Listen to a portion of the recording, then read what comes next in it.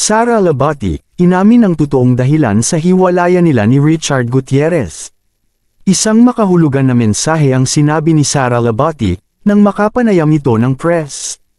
Ayon dito, sobra ang sakit na kanyang nararamdaman ngayon dahil pinilit niyang maging okay para sa pamilya. Napapabalita na kasing may bago ng kasintahan si Richard Gutierrez at ito ay walang iba kundi ang kapuso star na si Kazel Kinochi. Ayon kay Sara Labati, I cannot fathom and imagine the feeling of betrayal that I am experiencing right now. Please give us time and respect our decision. However, one thing is for sure, ginawa kong lahat for my family and stayed by my husband's side kahit na dumating ang mga problema. Sobra akong takot sa broken family kaya hindi ko inaasahan na ito ang mangyayari sa aking marriage. Ang masakit lang is yung ginagawa mong lahat ng paraan para maayos, but in the end ikaw pa ang masama at naiwan. I do hope na hindi niya saktan ang kanyang bagong girlfriend ngayon.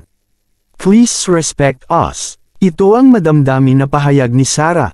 Nang matanong ito patungkol sa kanyang pamilya, naibalita ang hiwalay na sila ni Richard, at civil ang estado ng kanilang relasyon ngayon.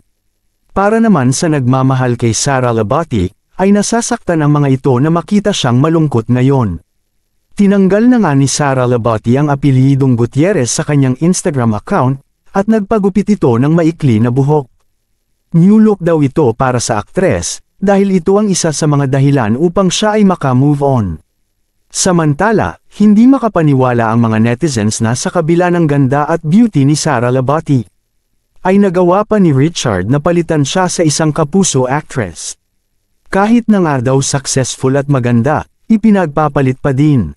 Komento naman ng netizens, sana ay ayusin ni na Richard Gutierrez at Sara Labati ang kanilang di pagkakaintindihan, upang mabalik ang kanilang naudlot na pagmamahalan.